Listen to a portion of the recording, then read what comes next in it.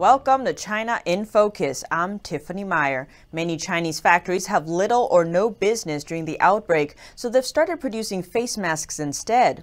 But countries around the world have reported serious quality issues with China's masks. A video circulating on social media sheds some light on why that may be. This is where the N95 face masks for medical staff are packed.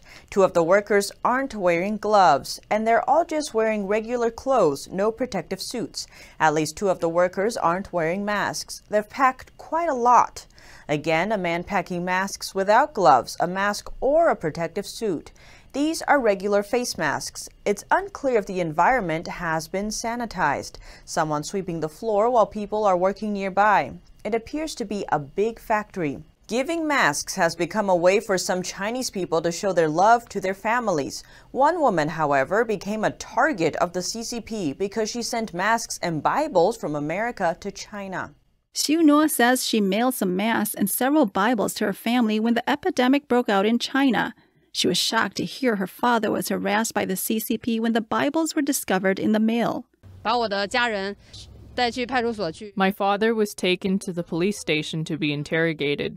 The police officers think I must belong to an anti Chinese religious movement overseas, or that I might want to bring my family here to fight against China.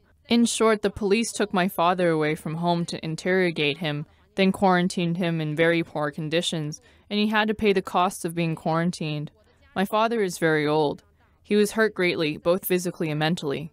Xu donated 6,000 medical masks to a hospital in Los Angeles. She expressed hope that Americans will understand that the Chinese people are also victims of the pandemic and that the CCP caused the outbreak to spread.